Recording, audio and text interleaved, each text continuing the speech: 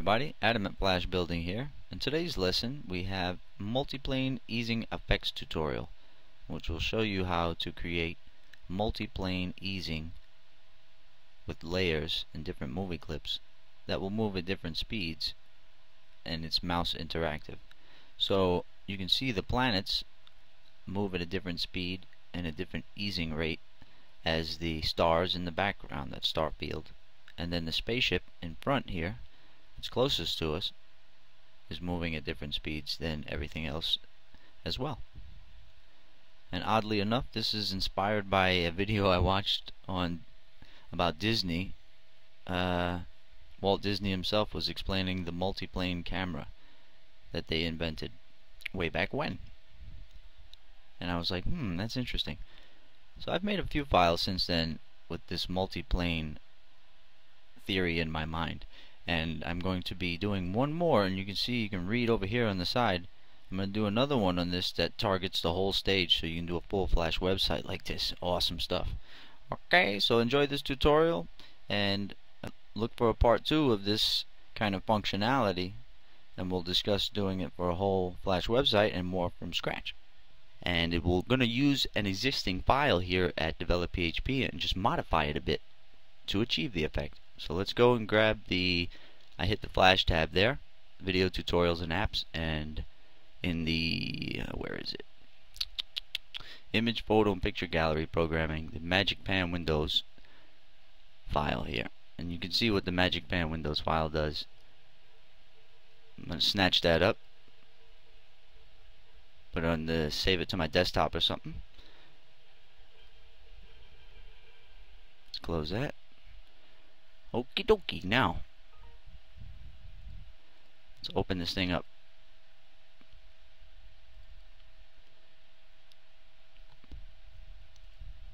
I'm going to extract it folder to the desktop. And there it is. Okay, so I'm going to open up that file I just downloaded in Flash CS3. It works the same in CS4 because we're using ActionScript 3.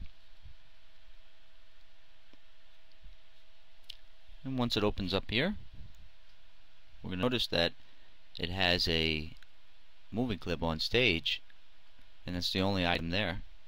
And it's called whole magic window in the library. It has no instance name because it's just a container to hold all the elements of this file. So you can move it around. If you wanted it to be over here that's just fine. And it still works just the same. That way if you had a full flash website and you wanted this little area to be on it, you can move it around. Alright, let's set it in the center. Let's get our background to black. And let's get that guy in the center best we can. Doesn't have to be perfect. Let's move it up. Okay, so we'll double click inside of it and that's really where everything is going on. There's an ActionScript 3 layer which controls, here let me unlock these. The ActionScript 3 layer controls how this big image is panned under this activator window. Okay? And the mask is what covers everything up. So when the mask is set, you can see only that section is seen. And that's what makes the pan effect. So what we're going to do is realize that this clip is 800 by 800. We'll keep it just like that. And it's X positions Y and the, I'm sorry, X position 0 and the Y position 0. So let's double click inside of it remove that image control X. Now we're gonna put some let's just put another rectangle in its place. That's like a little border. Make sure it's at 0 0 and make sure it's 800 by 800 this is just to be a visual guide for us to where we know we can put all of our elements. Now let's go to the fill here and bring it all the way down the alpha. That way it's clear completely Alright. Now you see we just have like a border around that movie clip now. So let's stay inside of it here and make a new layer. And here we're going to put stuff. We're going to make two other movie clips like this one. And they'll each have stuff in them. And maybe layer 1 can just be the border there. Yeah, we'll do that. Okay, so what I put into my stuff layer is just a series of dots that cover that whole 800 by 800 square now uh, you can achieve that by painting or using primitives. I just use primitives. But you can paint it on there too. Alright, so if we go back into the whole magic window clip here where we have the mask and the activator again, we'll create a new layer above the starfield layer. Well, I renamed it starfield because that's what it is. Let's take a look at it. It's pretty cool. Okay, so we have a starfield that pans and zooms with the mouse. Or not zooms, but it pans around in all directions with the mouse. Now in this layer 6, we're going to create a... Actually, we can just take this one well, let's just create another rectangle. Make sure it's a 0, 0. And make sure it's 800 by 800. 800 by 800. And you'll see the, the contents inside of the, these movie clips can just have a section maybe, you know, really small. Maybe like that big. But inside here, where content is but this would be just a container. So now we have 800, 800, 0, 0. Convert that to symbol. Let's call it clip2 or whatever. That name isn't important. What is is the instance name here. So let's just call this clip2. Clip2 underscore MC.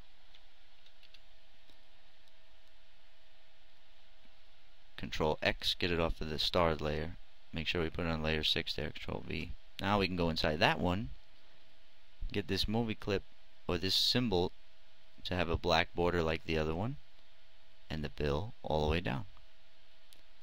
Then you make a stuff layer. You lock that layer, then make a stuff layer just like we did the other one. And I'm going to put some different stuff in here. Okay, so in the stuff layer of my second movie clip, I put a little spaceship looking thing. And we can take a look at what that looks like. And I can put many more things in here to fill up this 800 by 800 space. But I'm just going to leave it like that for this layer, I think. So you can see what that looks like. Don't ask me what the hell kind of spaceship that is. it's supposed to be going away from us, and those are the thrusters. Come on, I was just doing it real quick. Shut up. Alright, now, so we have the spaceship. Now, let's go back into the ma whole magic window movie clip. We can name this one Spaceship. And then make sure we have an instance name on it of clip2 underscore MC. Let's name the first one clip1 underscore MC. Clip1 underscore MC. Alright, now in the code I'm going to change a couple of things for this to say clip1 underscore MC. Good, good, easy enough. Now I'm going to copy those two lines, Control C, and I'm going to change this to clip 2. And now I'm going to mess with the easing speed. Watch this. And this is where the effect comes in. Easing speed, let's say minus 5. Let's see what happens.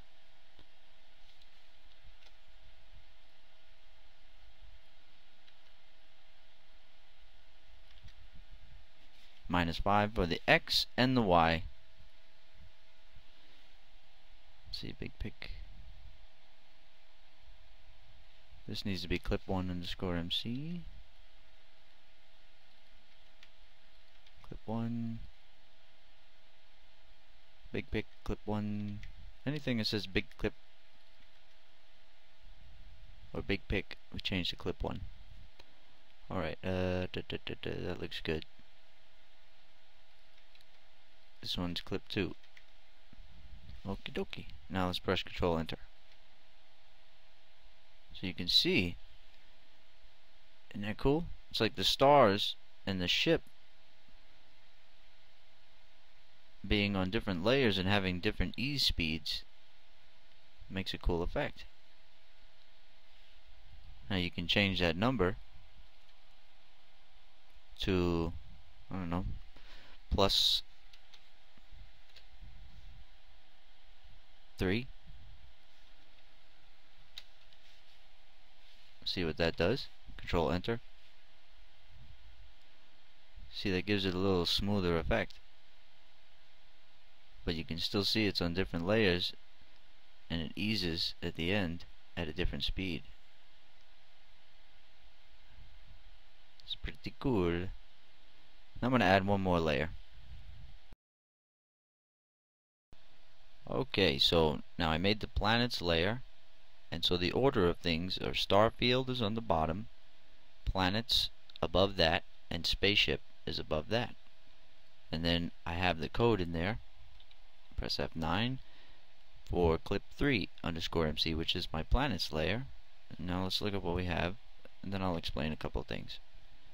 So you can see inside of that clip that whenever the mouse is over it, those three layers will all move at different easing speeds and position things in relation to one another to make it look like it's more in a 3D space maybe a little bit.